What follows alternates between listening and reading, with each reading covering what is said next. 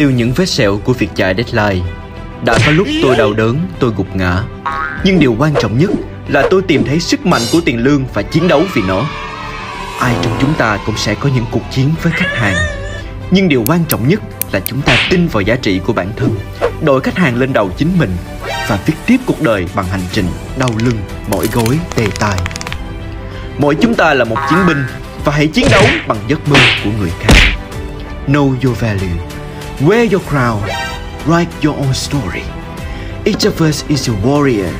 So fight for your dream. Thank you.